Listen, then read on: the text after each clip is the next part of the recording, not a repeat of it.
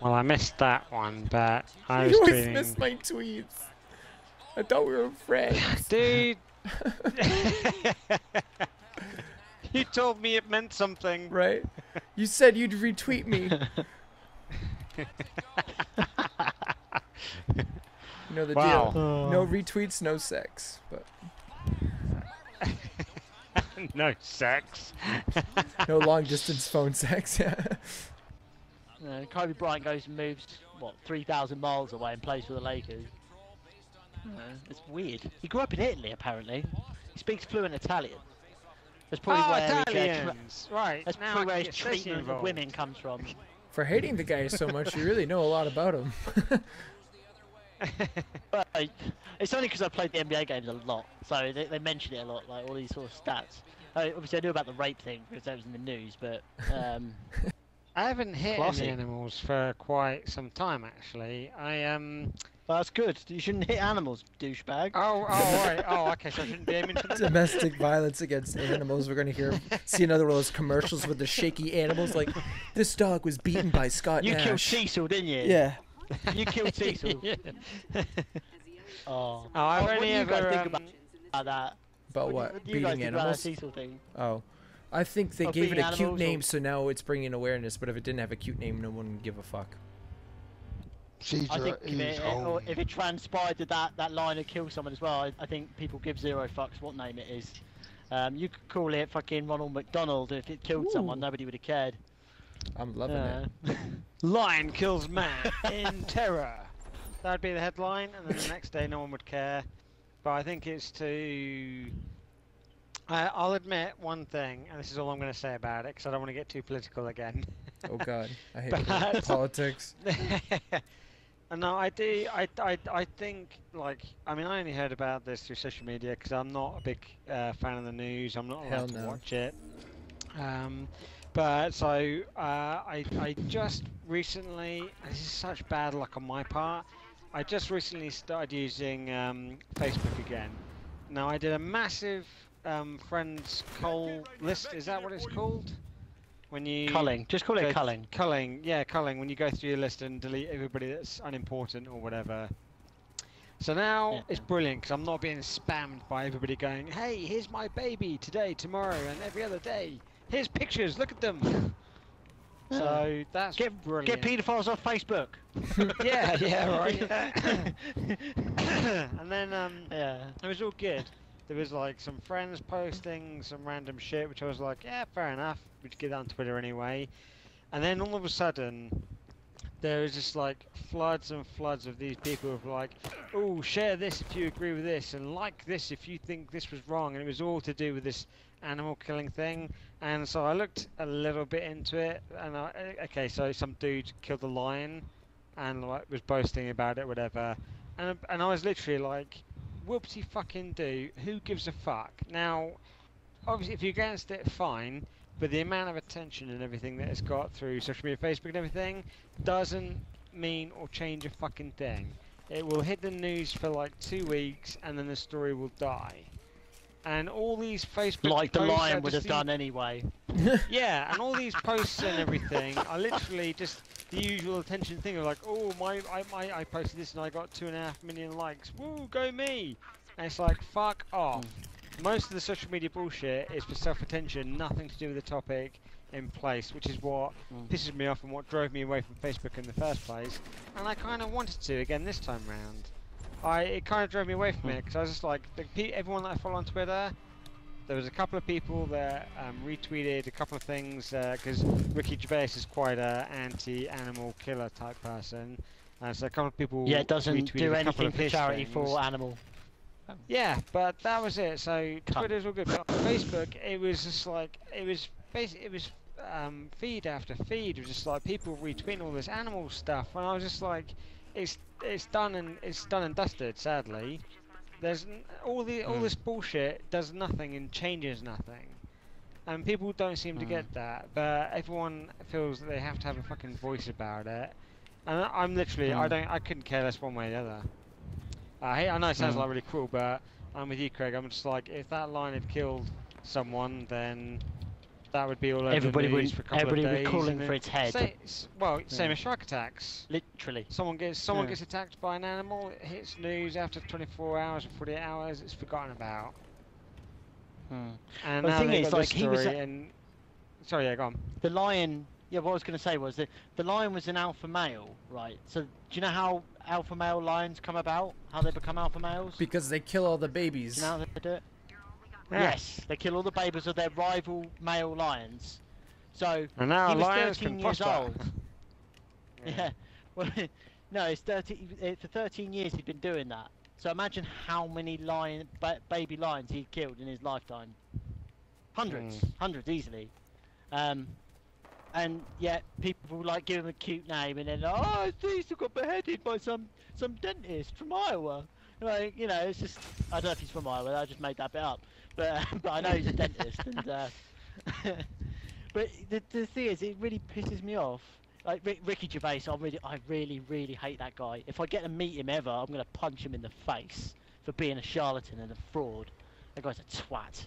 Can't stand him. He said something really stupid like, um, "Oh, a, a living animal is more beautiful than a baby, like a newborn baby." And I'm like, "What the fuck are you on about, you weirdo?" it's like I'm team people, asshole. Fucking lion comes anywhere near me, I'm killing it. Like it will fuck me up. You put me in a room with that lion, he's not going to sit there and play play nicely with me. He's not going to roll over and let me rub, rub his belly. He's going to try and fucking kill me. So it's one of those. If he'd um killed, I don't know, if he killed like a non-threatening animal, let's say he killed a deer, okay, not which I'm sure Keith probably sees quite a lot where he lives. Oh yeah. Um, They're like, Yeah, they're like fucking then I rodents. could maybe understand it to a degree. Yeah, there's loads of them, isn't there? There's loads of them. Um, Did you just see that guy kill Yeah, himself? Well, see, this is the thing. Like, I, I, this is the thing that, like, kind of, like, I find really bizarre. Um, is that a lot of people, and I, I Keith, like, um, hit me in a second with a segue change because I got a really great subject after this. Okay. That's not political at all. Um, oh, awesome. but like, uh, now, Craig, you know me. I'm a, I'm a. Shawn Michaels is one of my childhood heroes. Keith, you probably know who he is, right? Mm. Of course you do. And he. I'm rescuing Yeah. hostages. Yeah, after he um uh, quit wrestling and stuff, he um he's part of this TV show where they go and they hunt deer and stuff like that. Now, like a Mhm. lot of people, they're against this lion hunting because they've I I'm, I think it's because they've just been given like this little bit of information of like oh it's so bad for lions because of X, Y, and Z, when that's not like actually the case but they're okay with, and all these people, a lot of people that have objected against this, actually follow Mm. Shawn Michaels and um, like love his show of like hunting animals with the crossbows and the shit that he uses to hunt them with. So it's really contradictory, and I think a lot of people have literally lost their way and just. This is why I think, as I said earlier on, this whole thing's just blown out of proportion, and everybody needs to needs to chill the fuck out. It's like, yes, this lion's dead. Whether it was right or wrong, it doesn't matter at this point because it's done with. This guy's already been humiliated. He's at his house, like, um, um, what's the word? When somebody Vandalised? defaces something. Vandalized, yeah. He's had his house vandalized over it, and all sorts, and all because of social media and the news. When he was, he Mm. went to a country that legally allows him to do that sort of activity. So, Hmm. I see both sides of the story, but regardless, I think it's blown out of proportion. Like Craig says, if it had been like an alligator or a shark, I think it would be a completely different story. It's literally they they will make out oh a defenseless lion. Fuck off. There's no such thing as a Defenseless lion. lion. Yeah, It's I I, yeah, I yeah. So if you kill them 300 pound animal is gonna fuck you up. Yeah, and I don't care if you face. kill them from 1500 meters away with a sniper. It doesn't work like that. So yeah, that, that that's my piece. I'm done.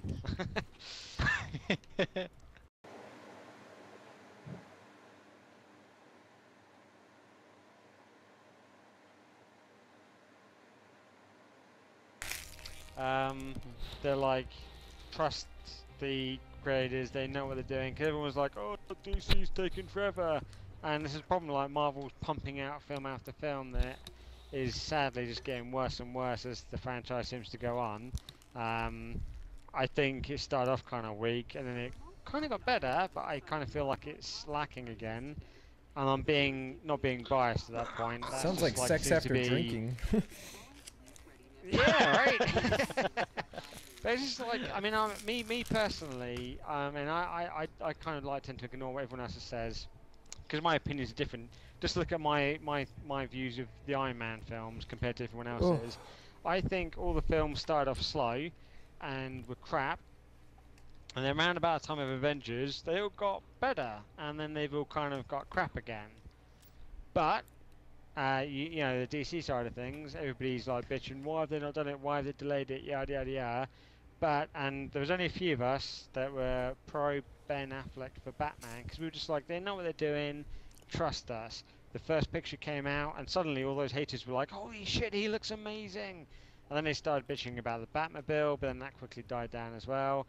And now we've getting these reports through that saying that um, they got standing ovations for the film through the screen testing that they, they've done. It's a, an outstanding film, and uh, and and they've cast Ben for like yeah all these Batman films. So I think that's uh, awesome news. And fuck everybody who doubted him. But that was Well, I've also got rumors, Well- though, too.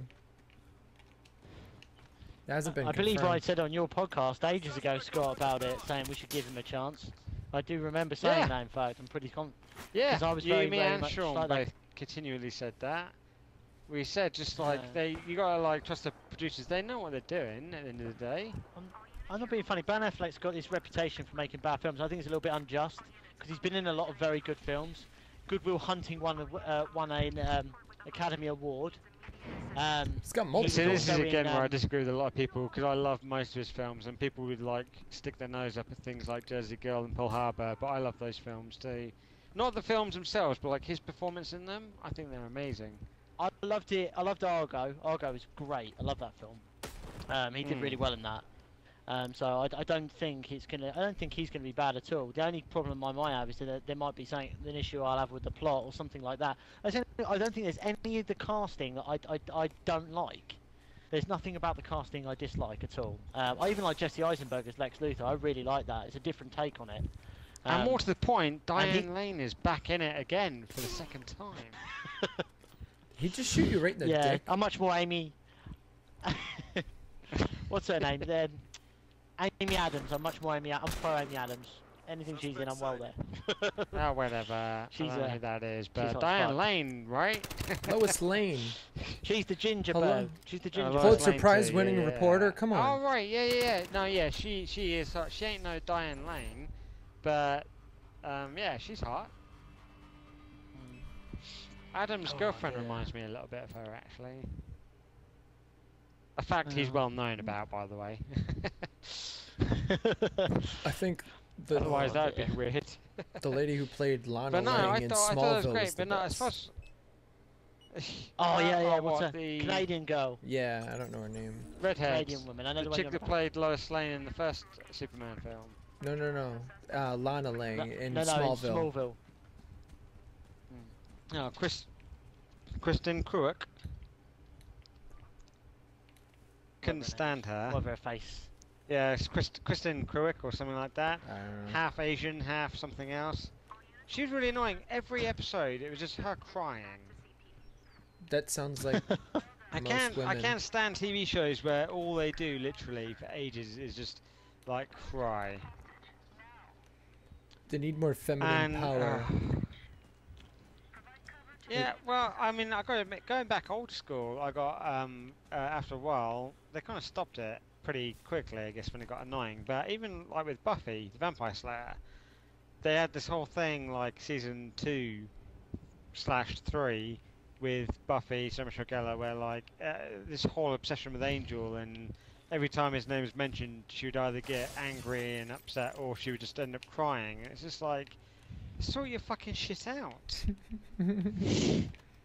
But that's like, you know, that's what you do in TV. You cry about it, and that was my problem with Lois Lane. She's she was attractive to start off with. I'll give you that. But after like you know four seasons of her just like crying and forgetting stuff because of the constant concussions after being conveniently knocked out to not spoil Superman's identity, uh, it just got a bit boring. But I love Smallville. And the chick that plays Clark Kent's mum uh, in it, the redhead, she's awesome as well. Maybe I got a thing for Clark Kent's mum. I don't know why. You just want to bang Superman's mom and be like, say you were there. Ah. No, you just I want to go to uh, Superman going, who's your daddy? That's what we want. That's what he wants to. Maybe. Dude, I just heard No, the she was best. hot thing- in Smallville as well because the chick that played his mum in Smallville actually played Lois Lane in Superman 2, I think it was, or 3, I can't remember. So it was a nice little connection to throw back. But she, like Diane Lane, just got like wine, got better with age. Anyway, You like Or uh, manky Ben like poetic like Affleck, vinegar. Batman, right? oh, dude. Have you guys seen this? It's a great film. Carl Oh, Reese gets to like grab them like I mean have you guys ever had like that kind of sex where you just like you grab knuckles and your knuckles go white? I usually don't see my knuckles. I've never Wait a minute, the, the video camera doesn't pick it up either? Uh, oh boy. Uh, I've, I've, ne- I've never like as awesome as it looks sometimes. I've never quite grasped this whole 1980s, 1990s love making movie scenes thing because I'm just like nobody has sex like that. Not even love making. Love making is still fucking, and it's not slow moving. You guys have had that, right? Everything I've learned, I've learned from porno.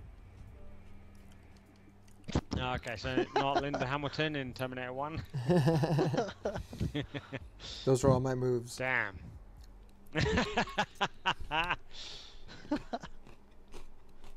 Oh dear. Might be out of my depth here. Oh, oh dear. Alright, okay, I'm joining. Right, so yeah, speaking of Linda Hamilton and her boobs in Terminator 1, that takes me to. Late childhood memories and alone in your bed. yeah, well, there is that. Shall we, do you want me to talk about that? Yes. My breathing, my breathing techniques, my yelling. I scream a lot. Um, What, as standard or during sex? both. Uh, Ah, yeah, gotcha. oh, I killed Ebola. I. What? That's his name. It's a rather bold claim to make. Yep. yeah. You're welcome, I'm- Africa. I'm sure many scientists would be happy to understand why I'll- and how. Uh, if you're sending my Nobel Prize, it's in uh, send it to Vermont, uh, United States, America. Um, wow. In one night during a podcast, we eliminated Ebola. this is true. I probably have contracted it just as well as eliminated that one, but it's all good. Wait, Friendly Ebola would be quite easy I to get can solve of. that for you. We, we, can, we can we can solve the problem with Ebola, no problem. that doesn't have anything to do with the rash by nuclear my testicle, on right? the planet. We take every nuclear weapon on the planet, and then we just nuke Africa. Job done. AIDS, Ebola, everything gone overnight. No more lions to get killed. Um, Oh, back to the so many lines. humanitarian. Oh fucking hell! Jesus Christ! We've been slapping these guys with our dicks. Not sure how good that feels. Okay, serious question to you guys. Think carefully. Who would you really go for between like Catwoman, Wonder Woman, and Lois Lane? Okay, well, Wonder Sexually, Woman has like kind of a superhero clam, so that's out of the question. Like, how are you gonna do that without dying? Like, if she's having a good time, your dick's probably gonna fall off. No, no, no, not Like- fighting sexually. No, I'm saying sexually. If you're getting Oh, Wonder right. Woman Oh, off, okay, she's probably gonna rip your dick off accidentally. Oh, okay. Well, let's scratch her out of the equation. Okay, so Catwoman, Harley Quinn, Lois Lane, uh, Poison Ivy. um, Poison Ivy's uh, got a very much a hands-off approach. Right? So, uh, she yeah, kind of yeah, does, she's doesn't she? Yeah. She's got STD written Okay, all over her. Catwoman, Harley Quinn. I'm pretty certain the obvious answer is going to be Harley Quinn, isn't it? See, I really like Wonder Woman, like how she looks, but she seems like a "I am woman, hear me roar" type. Kara and I were talking about this earlier. Okay, what if she what if she was accepting to your advances? She would probably rip my dick She's off with her accidentally.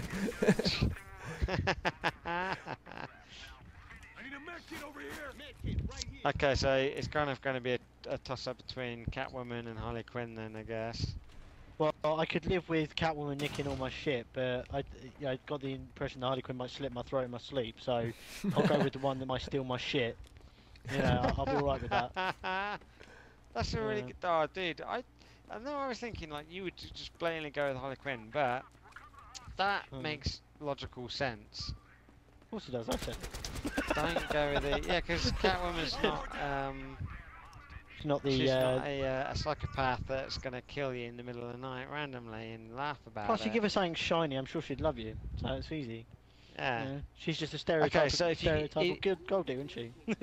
easy. Yeah, okay, but same same question, but just a one-off, one-night stand, and you get to walk away from it. Who do you then go for? Doesn't really matter for me then at that point. doesn't doesn't, doesn't really matter. doesn't really matter. Um, Ah, no, I, I, I, Wonder Woman would be right at the end of the list, just purely because I'd, I'd be Okay. afraid that she might Ronda Rousey my ass and break my arm or some shit. Um, If it, if there's going to be a Wonder Woman, a Wonder, I really think they cast the wrong Wonder Woman. They should have got Ro- Ronda Rousey to do Wonder Woman in the new Batman Superman film. Because if anybody, if there's any woman that's closer to her right now, it's her.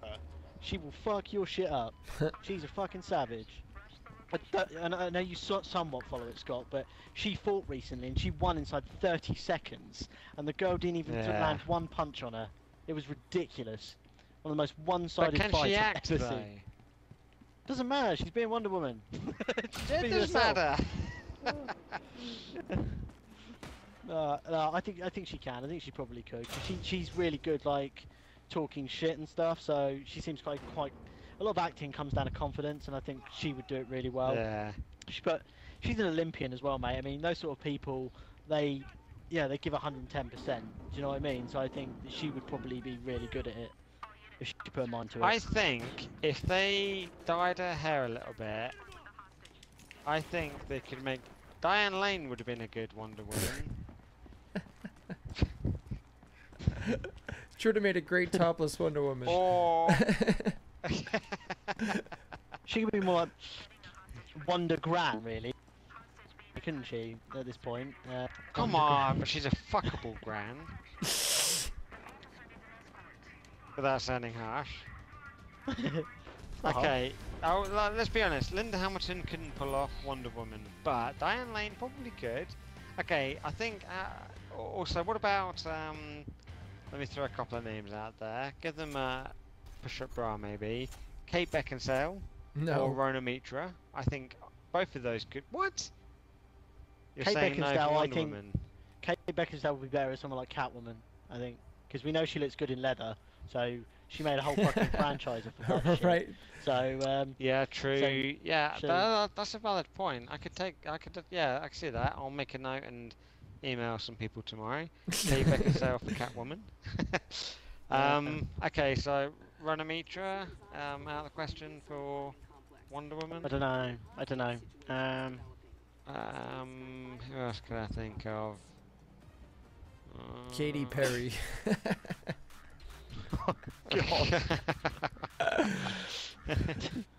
Let's throw Kim Oh, God, no, in the mix while we're at it. I, I, well, yeah, no, she give me Wonder Woman only if Wonder Woman gets her ass absolutely handed to her in a Oh fight. yeah, and Oh, raped yeah. and beaten and killed. I Rape- went that by an. Ewok. oh my god. Look at that far. Uh, as long, as, long as she see got an her arse Ewok handed to her. like in the beating to pieces. Yeah, that'd be great. Plus her arse Okay, is so- way too big. She couldn't get in that leotard with an ass that big. Do you know what I mean? She, her, you remember Rikishi from WWE days? He, she, her Yeah. special move would, would be the stink face. She would sit on your face. oh And she would my kill you. god. There's a lot of women I'd let them do that to me, but she's definitely not one. Not rubber ass. no, no. Ah,